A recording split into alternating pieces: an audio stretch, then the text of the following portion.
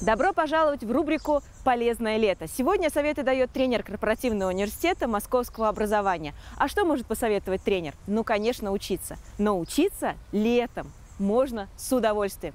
И я докажу вам сейчас это на примере популярной модели компетенций 4К. Креативное мышление, критическое мышление, коммуникация, командная работа. Начнем с креативного мышления. Возьмите любимое ваше занятие и добавьте в него новизны. Вы рисуете? Найдите новый сюжет. Вы готовите? Добавьте новые специи или новые идеи. Критическое мышление традиционно сравнивают с сомнениями, но это не совсем так. Критическое мышление – это еще и про поиск разных подходов. Поэтому здесь два предложения. Детективный квест с друзьями или родными или дискуссия деловая или на повседневные темы.